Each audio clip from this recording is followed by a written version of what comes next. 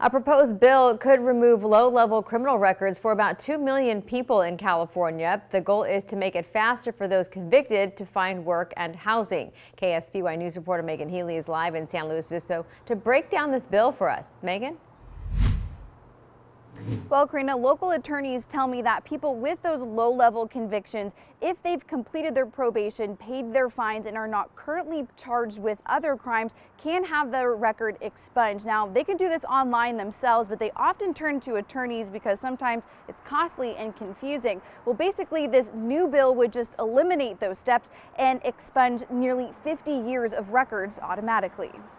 We all make mistakes, but some mistakes like DUIs, shoplifting, and disorderly conduct can haunt people for decades and impact their ability to find homes and jobs.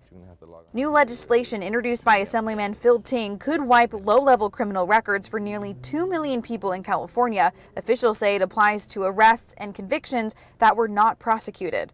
These are people that have taken care of restitution and court fees and they've done everything that they've asked of us. And at this point, they should be entitled to be able to move on with their lives. Criminal defense attorney Scott Taylor says he deals with a lot of low level crimes and people trying to clear their name. He says his law firm would have less business if the bill goes through, but he's okay with it. They're trying to make ends meet. They're trying to take care of their families, get a job, be productive members of societies.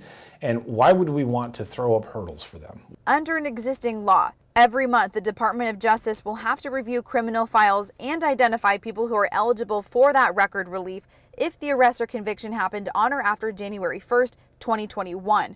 This new bill would go back further to include arrests and convictions on or after January 1st, 1973. San Luis Obispo County District Attorney Dan Dow says it's not worth it. Dow says he's concerned mistakes will be made when the Attorney General's office is tasked with reviewing millions of records. Instead of trying to impose this on the AG's office, is empower our defense bar uh, making it easier for them to go in and petition, perhaps waiving the fees that are required for individuals to petition the court and ask that their expungement happen.